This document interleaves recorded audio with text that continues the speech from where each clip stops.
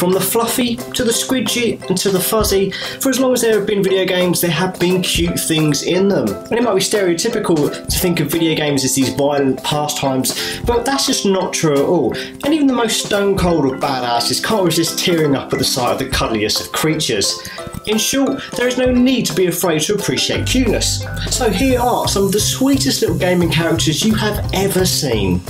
First up, you can always count on a Japanese RPG to contain its fair share of cuteness, so it's no surprise that the first entry in this list is a recurring character from one of the biggest games in the genre.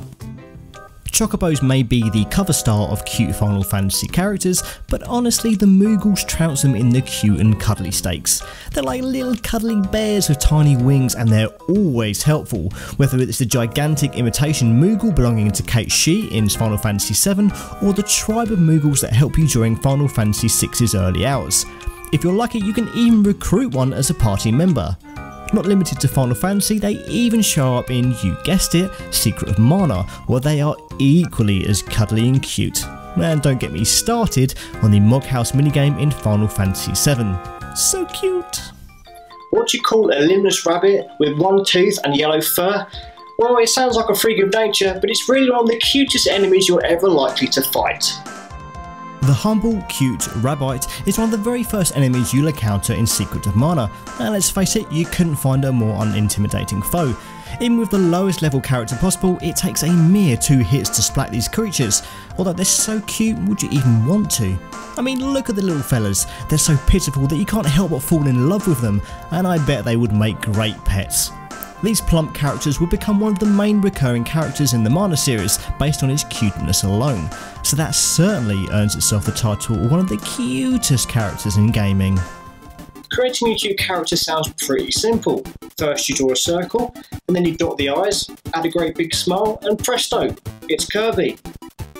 He's pink, he's round, and you can probably bounce him on the ground.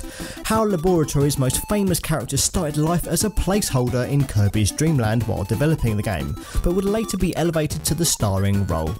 He's had roles in so many of his own games as well as multiple spin offs. He's always been a reliable figurehead for some of Nintendo's stranger game ideas, from Kirby's Pinball to his own epic yarn. No matter how much Nintendo's Western offices try to make him look tougher, he'll always be cute. Just try not to think about how he turns inhaled lifeforms into stars. Ugh. If dinosaurs had evolved to have extremely long tongues, float by paddling their feet in the air, and lay eggs that could be thrown at foes, arguably they wouldn't have gone extinct.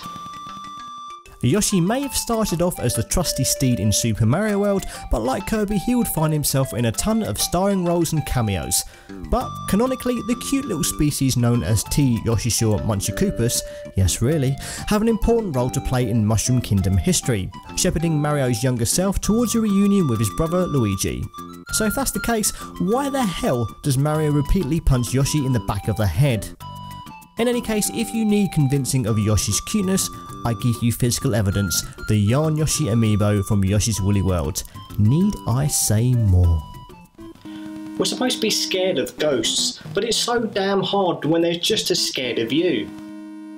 Originally named Boo Diddleys after the late blues singer Bo Diddley and also known in Japan by the name Teresa, Boos have been a recurring menace of the Mario series from Super Mario 3 onwards. Its creator, longtime Nintendo producer Takashi Tezuka, took inspiration from his own wife when creating the character, because she was normally very quiet but regularly exploded in anger due to Tezuka being away from home so much while developing the game. As a result, these ghosts approach players while their back is turned while shying away if facing them. No matter what their appearance, they're rarely intimidating and are a fan favourite, appearing on a great deal of Super Mario merchandise from t-shirts to plushes. Their shy nature has certainly made them appealing.